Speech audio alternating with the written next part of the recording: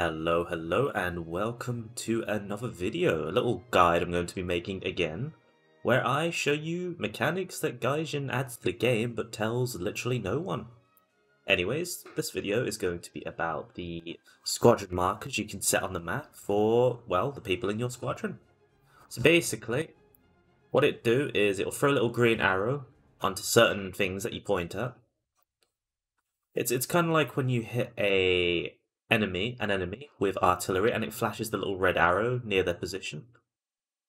But this one's more precise. You put, you aim at the target, you push the button, and it'll throw a little green arrow on them. Much easier to communicate with friendlies. So basically, how to get that sorted is you go to controls, you go to common, and then you go to set target for squadron. Here I put it as the little dash, which is right next to my Z key, so it's easy to reach. And I'll see if I can actually find a part where I actually use it. See you then. What's that down there? Oh, I'm not sure. That is. I have no idea what that is. There's two of them, but right, he's probably going to come out this side. The...